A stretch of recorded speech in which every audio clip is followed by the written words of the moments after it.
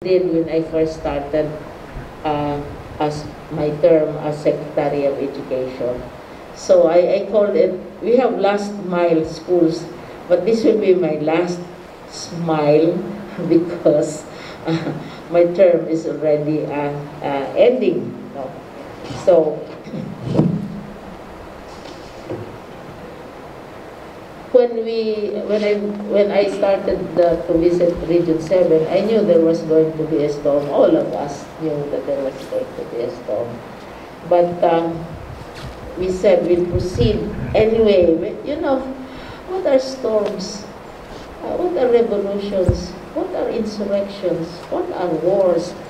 They never stop. Education at all. The process of education, uh, whatever the situation.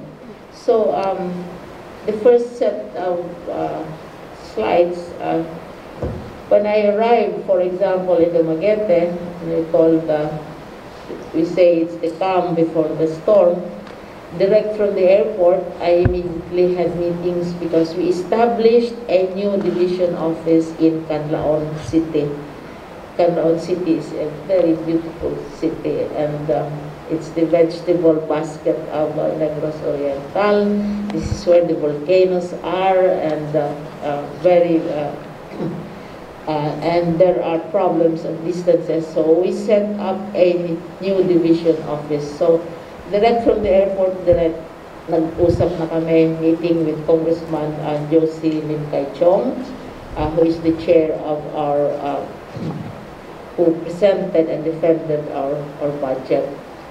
And then I also had a meeting in the afternoon with the ASEAN School Games. Kasi kung we have a commitment uh, sa Philippines to host the ASEAN School Games, wherein the country, the schools, school athletes from the different ASEAN uh, countries uh, usually meet every year and compete.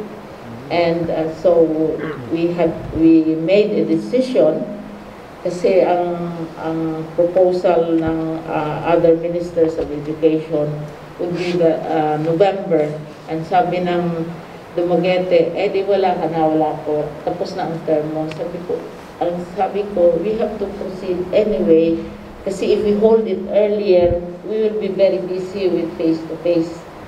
Oo, and so we cannot concentrate on this. So we um, we decided for November, uh, in 2022, we'll be hosting the ASEAN uh, School Games, and I believe uh, the National Academy of Sports will uh, have a very important role here. Philippines will be hosting, and more than 5,000 delegates, athletes, and ministers of education are coming over. So this is really a big, big commitment, which we Philippines fought and negotiated for. Kaya were hesitant, oh, wala ka na. Ko, it doesn't matter. Because these are our commitments which we have to keep. Now, the next day, we, uh, visited uh, an island. Itong mga, we have schools which are located in uh, islands, no? And you know that, and one school room, etc. Ito may high school na. Eh, si uh, Yusek Revsee uh, was with me. And uh, we were crossing from Negros to this island.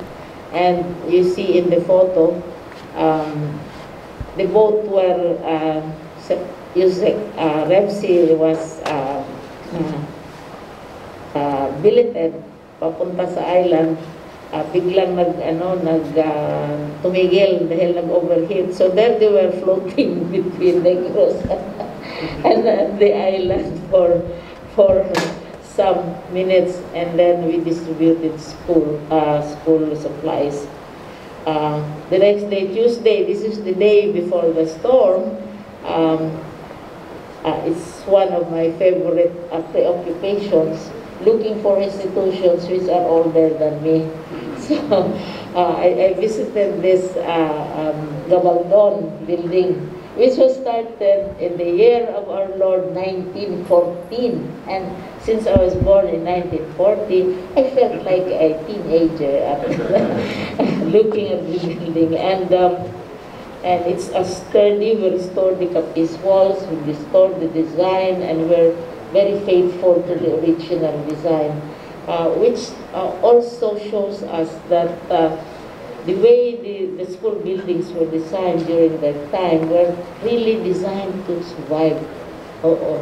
Kasi yung mga windows, walang air conditioning, tapos may posts sa ilalim, dadaan lang yung tubig, may parang stilts. Oo, nakapa- hindi naka-flat sa ground, no? So, um, I, I visited this, um, so itong Olympia Elementary School in the island, and then the Gabaldon uh, building.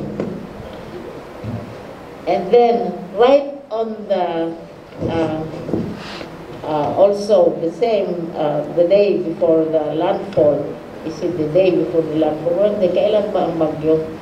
Uh, I visited another island. This is the Polo Elementary School and distributed uh, gifts from some local governments to the children. So it was a very, very full uh, schedule. I'm reporting to you what I do when I go to the regions. And nag-start na ang landfall. With the landfall, uh, the storm started I had three major uh, activities. One is the uh, inauguration of a three-story school building. Hindi hindi mahalata. Nag-build up na ang ulan, uh, ang, ang wind, uh, malakas na. But we proceeded with three activities. This is the groundbreaking of the regional office, and inauguration of a three-story building which was burned uh, um, a few uh, two years before, and um, also the start of the Gabaldon Heritage Week in Dumaguete. So tatlong events during the landfall. And uh, ang yabang-yabang po, kasi sabi ko, don't worry, don't be afraid of the storm. Kami sa Manila, sanay na kami sa baha, sanay na kami, sanay na kami sa rally, sa baha, sa mga threats, sa ingay. So, sila din sakay na rin sa bagyo. So, uh, okay lang. Three major events during the landfall. Tapos pagkagabi, I met with the uh, uh, superintendents, the heads of schools, kasi we were in a, in uh, a building, so at, uh, na we were quite safe.